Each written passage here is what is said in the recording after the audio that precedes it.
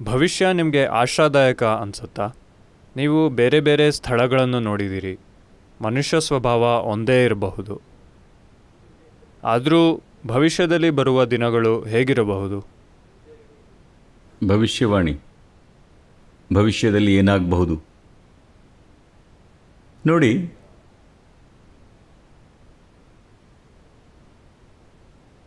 ಒಂದು ವೇಳೆ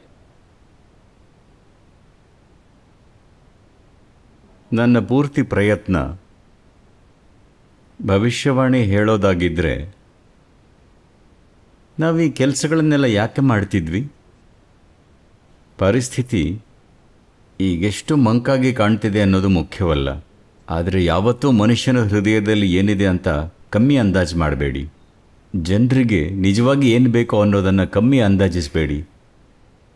ಮುಂದಿನ ಹತ್ತು ವರ್ಷಗಳಲ್ಲಿ ಇಡೀ ಪ್ರಪಂಚನ ಸಂಪೂರ್ಣವಾಗಿ ವಿಭಿನ್ನ ಸಾಧ್ಯತೆಯಾಗಿ ಬದಲಾಯಿಸಬಹುದು. ಜನರಿಗೆ ಸ್ವಲ್ಪ ತಿವಿ ಬೇಕಾದ ಅವಶ್ಯಕತೆ ಇರುತ್ತೆ. ಅವರನ್ನು ಮುಂದೆ ತಳ್ಳಕ್ಕೆ. ಆದರೆ ಒಂದು ಸಲ ಮುಂದೆ ಹೊರಟ್ರೆ ನಿಮಗೆ ಗೊತ್ತಿಲ್ಲ ಅವರು ಏನೇನೆಲ್ಲ ಮಾಡಬಲ್ಲರು ಅಂತ. ಭೂಮಿ ಮೇಲೆ ಇಲ್ಲಿವರೆಗೆ ಆಗದೇ ಇದ್ದದ್ದನ್ನು ಅವರು ಮಾಡಬಲ್ಲರು ಹೌದಾ? ಹೌದು ತಾನೆ?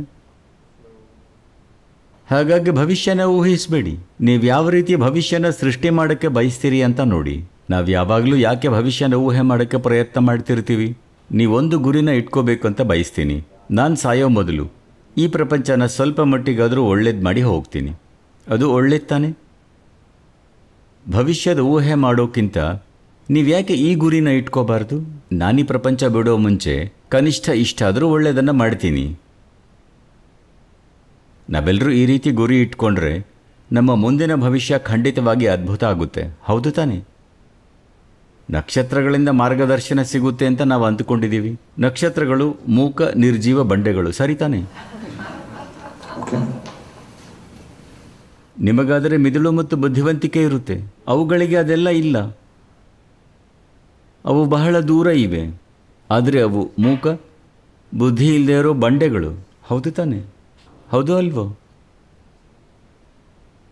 ಅವು ದೂರ ಇವೆ ಅನ್ನೋ ಕಾರಣಕ್ಕೆ ಅವುಗಳಿಗೆ ಇಷ್ಟೆಲ್ಲ ಪ್ರಾಮುಖ್ಯತೆ ಕೊಡಬೇಕಾಗಿಲ್ಲ. ಅವು ನಮ್ಮ ಜೀವನನ ನಿರ್ದೇಶಿಸ್ತಾ ಇಲ್ಲ. Human destiny in human hands. ಮನುಷ್ಯರ ವಿಧಿ ಮನುಷ್ಯರ ಕೈಯಲ್ಲಿದೆ. ನಾವದನ್ನು ಯಾವ ರೀತಿ ನಿಭಾಯಿಸ್ತೇವೆ? ಆ ರೀತಿ ಅದಾಗುತ್ತೆ. ನಾವು ಅದನ್ನು ಪ್ರಜ್ಞಾಪೂರ್ವಕವಾಗಿ ನಿಭಾಯಿಸಿದರೆ ಖಂಡಿತವಾಗಿ ಅದ್ಭುತವಾದ ನಾಳೆ ಇದೆ. ನೀವು ಮೂರ್ಖತನದಿಂದ ನಿಭಾಯಿಸಿದರೆ ಖಂಡಿತವಾಗಿ ನಾಳೆ ಭಯಾನಕವಾಗಲಿದೆ. ಹೌದು ತಾನೆ? ಹೀಗಾಗಿ ಊಹೆ ಮಾಡಬೇಡಿ.